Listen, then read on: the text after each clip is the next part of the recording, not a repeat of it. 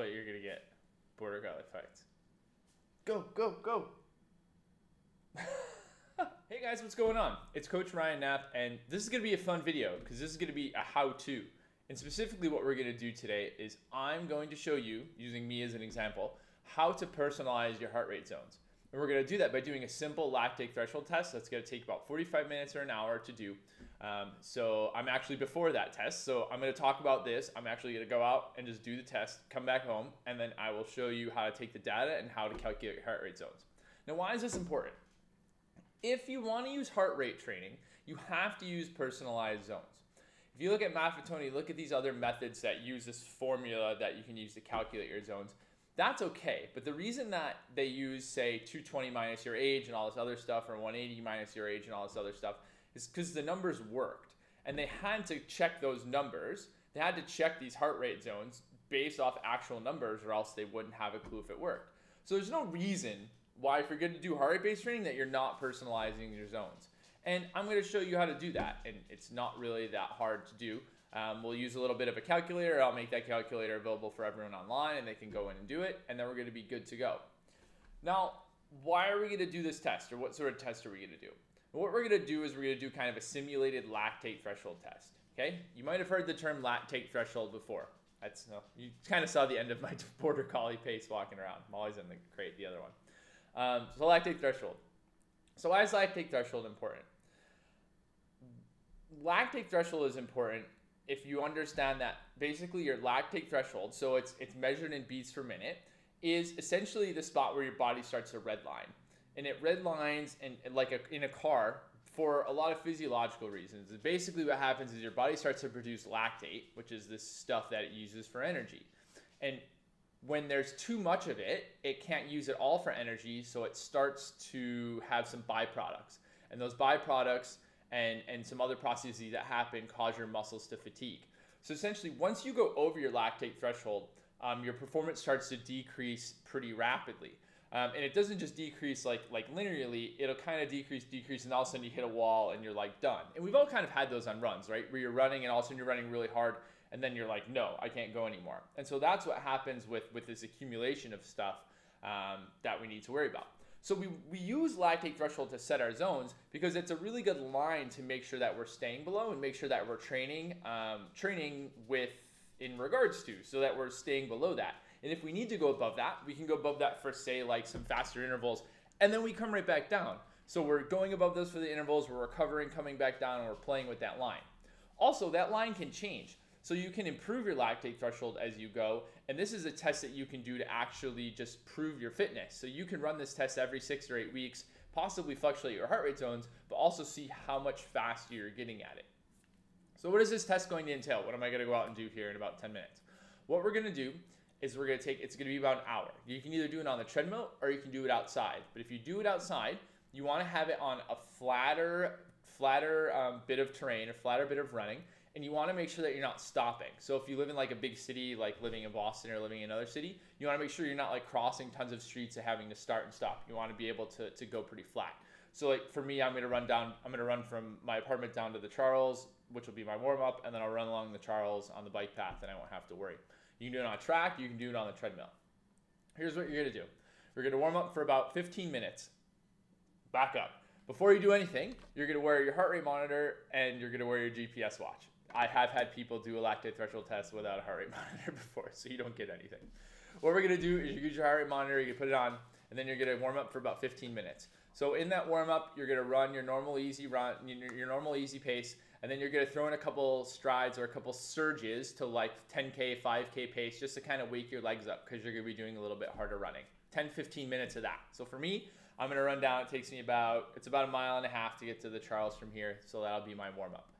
Then what you're gonna do is you're gonna make sure your heart rate monitor is is running, and then you're gonna either hit the lap button or, or you know somehow delineate it um, within the workout. If you can't do that, it's not a big deal. We'll we'll do it afterwards, and then you're gonna run for 30 minutes, and in that 30 minutes, you're gonna essentially run a pace that you could run for about your 10k. So for most people, it's basically half hour to hour pace, which is roughly within the middle of your um, uh, of your 10k pace. Uh, and you're going to run that for 30 minutes continuously. So when you when you go from the beginning, when you go from that warm up into that into that pace um, or into that 30 minute bit, you're gonna want to make sure that you're you're gradually increasing into it. Because what happens with most people is they try to crush the test. So they go easy, and then all of a sudden they go really hard, and they went too hard, and then they have to level out.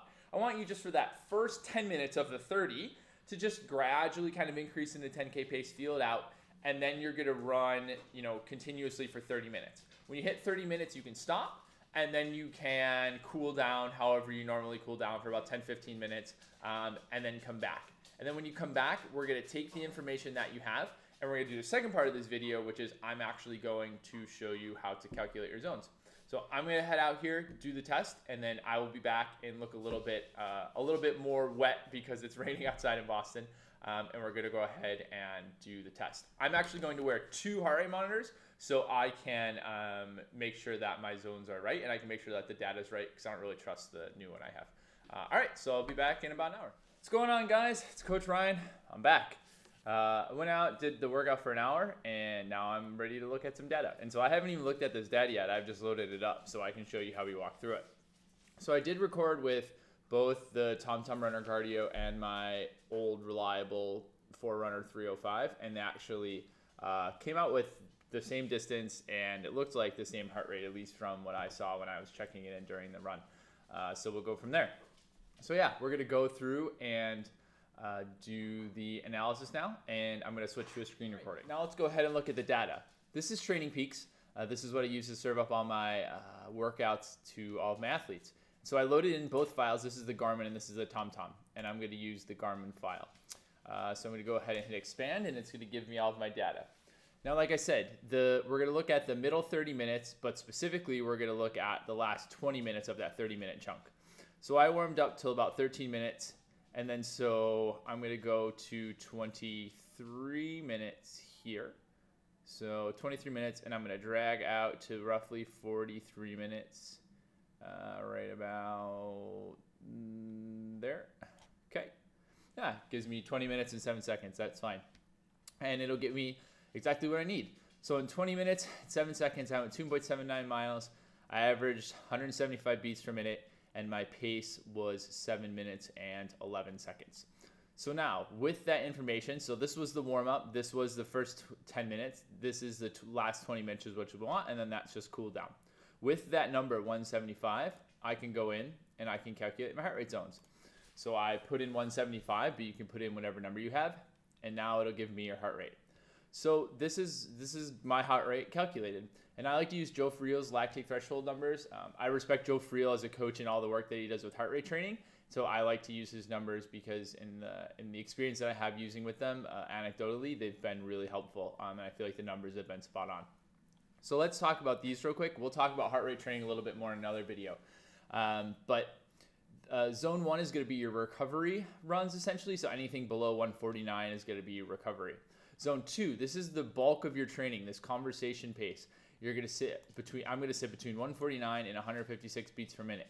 My zone three, I like to bump this guy up one if these numbers don't match. It's just because the percentages are only, um, they're, they're not rounded. They're not like tenth of a percent or a hundredth of a percent. So sometimes it's a little off. So my zone three, my zone two would be up to 157. My zone three is 158 to 165. Zone three is a harder aerobic effort or like a marathon pace effort. So tempo runs, that stuff's gonna fall right in there. Any sort of steady state stuff.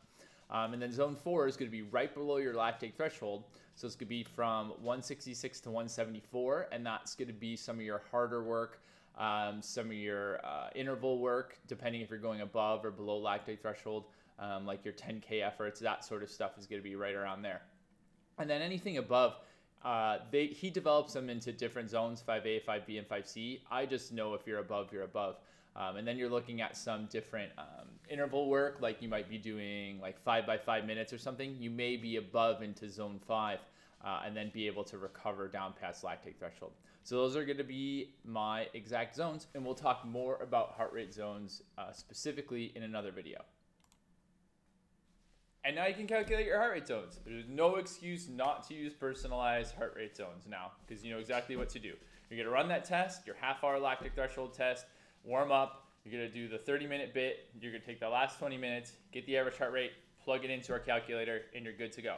In future videos, or you can always ask me, we're gonna talk more about heart rate training, specific zones, and all of that. That's gonna come for another day. If you have any questions, you can find me all over the place. Find me on Twitter or Instagram at Ryan Knapp, or you can email me ryan at milestogoendurance.com. Thanks so much for listening. Please leave any comments uh, in the comment section or ask any questions. Have a great day.